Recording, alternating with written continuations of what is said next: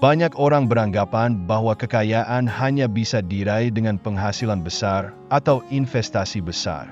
Namun, kekayaan bisa dibangun dengan cara yang lebih sederhana dan terjangkau oleh siapa pun. Dalam video ini, kita akan membahas langkah-langkah praktis yang dapat diambil untuk memulai perjalanan menuju kekayaan. Langkah-langkah ini tidak memerlukan modal besar atau keahlian khusus, tetapi membutuhkan konsistensi dan kesabaran. Satu, jangan habiskan semua penghasilan. Salah satu langkah paling mendasar dalam membangun kekayaan adalah memastikan Anda tidak menghabiskan seluruh pendapatan yang Anda terima. Cara paling mudah untuk memulai adalah dengan menyisihkan setidaknya 10 hingga 20% dari penghasilan setiap bulan untuk ditabung. Menyisihkan uang di awal bulan akan membantu memastikan bahwa Anda tidak tergoda untuk membelanjakan seluruh pendapatan. Ketika Anda menyisihkan uang secara konsisten, bahkan dalam jumlah kecil, Anda akan membangun kebiasaan menabung. Kebiasaan ini merupakan pondasi dari kekayaan. Anda memiliki cadangan uang untuk kebutuhan darurat atau untuk diinvestasikan di masa depan. Selain itu, Menyisihkan sebagian penghasilan membantu Anda hidup sesuai kemampuan dan menghindari gaya hidup konsumtif. 2. Mulai dengan investasi kecil. Banyak orang takut berinvestasi karena merasa mereka perlu banyak uang untuk memulai. Faktanya, investasi bisa dimulai dengan jumlah yang sangat kecil. Ada banyak platform online yang memungkinkan Anda untuk berinvestasi dengan modal minim, seperti reksadana atau saham yang bisa dimulai dari puluhan ribu rupiah. Pilihlah investasi yang sesuai dengan profil risiko Anda dan yang bisa Anda pelajari dengan mudah. Investasi adalah cara untuk membuat uang Anda tumbuh seiring waktu. Bahkan dengan modal kecil, jika Anda konsisten berinvestasi, uang tersebut bisa berkembang melalui keuntungan atau bunga. Prinsip ini disebut compo unding yaitu keuntungan dari investasi akan diinvestasikan kembali dan menghasilkan lebih banyak keuntungan lagi. Memulai lebih awal memberi keuntungan lebih besar dalam jangka panjang. 3. Hindari hutang konsumtif. Hutang konsumtif adalah hutang yang digunakan untuk membeli barang atau jasa yang tidak menghasilkan pendapatan, seperti barang elektronik, pakaian, atau liburan. Meskipun terkadang godaan untuk berhutang tinggi, penting untuk menahan diri dan hanya membeli barang-barang yang bisa Anda bayar dengan uang tunai.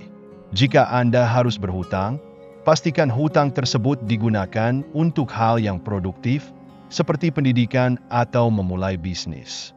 Hutang konsumtif hanya menambah beban keuangan karena Anda harus membayar bunga dan cicilan. Hal ini akan memperlambat kemampuan Anda untuk menabung atau berinvestasi. Sebaliknya, jika Anda bebas dari hutang konsumtif, Anda dapat menggunakan lebih banyak uang untuk membangun kekayaan, bukan untuk membayar bunga. 4. Gunakan uang untuk menghasilkan uang. Salah satu prinsip kunci dalam membangun kekayaan adalah menggunakan uang yang Anda miliki untuk menghasilkan lebih banyak uang. Ini bisa dilakukan dengan cara memulai bisnis kecil-kecilan, membeli barang yang bisa dijual kembali dengan keuntungan, atau berinvestasi dalam aset yang bisa menghasilkan pendapatan. Misalnya, Anda bisa membeli barang-barang bekas untuk dijual kembali atau memulai bisnis sampingan dari hobi yang Anda miliki. Ketika uang Anda bekerja untuk Anda, artinya Anda menciptakan aliran pendapatan tambahan. Ini membantu Anda mencapai tujuan keuangan lebih cepat daripada hanya mengandalkan satu sumber pendapatan. Selain itu, ini memberi Anda lebih banyak fleksibilitas dalam mengelola uang, sehingga Anda dapat mengalokasikan lebih banyak dana untuk investasi jangka panjang. 5. Belajar tentang keuangan Memiliki pengetahuan dasar tentang keuangan pribadi sangat penting untuk membangun kekayaan. Mulailah belajar tentang bagaimana mengelola pendapatan, cara membuat anggaran, dan cara berinvestasi dengan bijak. Banyak sumber daya gratis, seperti artikel, video, dan podcast yang bisa membantu Anda mempelajari keterampilan dasar ini. Pengetahuan ini akan membantu Anda membuat keputusan keuangan yang lebih baik dan menghindari kesalahan yang umum terjadi. Dengan pemahaman yang lebih baik tentang keuangan, Anda akan lebih percaya diri dalam mengambil keputusan finansial. Anda akan bisa menilai risiko dengan lebih baik, mengetahui peluang investasi yang menguntungkan, dan mengelola uang Anda dengan lebih efektif. Tanpa pendidikan finansial, mudah untuk terjebak dalam keputusan buruk seperti investasi yang tidak tepat atau pengeluaran yang berlebihan. 6. Temukan cara mendapatkan pendapatan tambahan. Jangan hanya mengandalkan satu sumber penghasilan. Cari peluang untuk mendapatkan pendapatan tambahan, baik itu melalui pekerjaan sampingan, bisnis kecil, atau menjual barang-barang yang tidak terpakai.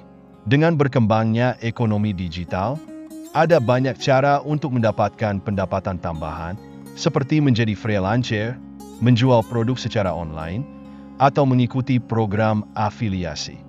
Dengan memiliki lebih dari satu sumber penghasilan, Anda mengurangi risiko keuangan jika terjadi hal-hal yang tidak terduga. Pendapatan tambahan juga memungkinkan Anda untuk mempercepat pencapaian tujuan finansial, seperti menambah tabungan, melunasi hutang lebih cepat, atau meningkatkan investasi. 7.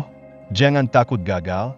Dalam perjalanan membangun kekayaan, ada kemungkinan Anda akan mengalami kegagalan, baik itu dalam bisnis, investasi, atau keputusan keuangan lainnya.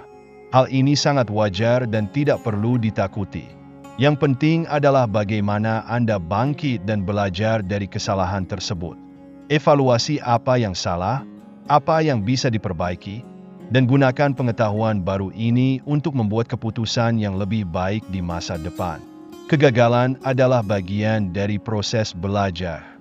Jika Anda takut gagal, Anda mungkin tidak akan pernah mencoba hal-hal baru yang bisa membawa Anda menuju kekayaan.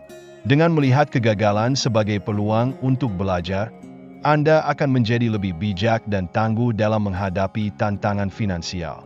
Membangun kekayaan bukanlah hal yang instan, tetapi dengan strategi yang sederhana dan konsisten, Anda bisa memulai perjalanan keuangan yang lebih baik. Menabung, berinvestasi, menghindari hutang konsumtif, serta mencari peluang pendapatan tambahan adalah langkah-langkah yang bisa dilakukan siapa saja tanpa harus menjadi ahli keuangan. Yang terpenting adalah memulai sekarang dan menjaga konsistensi dalam setiap langkah. Terima kasih telah menonton sampai akhir. Semoga informasi yang telah saya bagikan bisa memberikan inspirasi dan manfaat bagi Anda. Jika Anda merasa video ini berguna, jangan lupa untuk like, share, dan subscribe agar tidak ketinggalan konten menarik lainnya. Tinggalkan komentar di bawah jika ada topik yang ingin Anda bahas atau jika Anda punya pertanyaan. Sampai jumpa di video selanjutnya. Tetap semangat dan teruslah berkembang.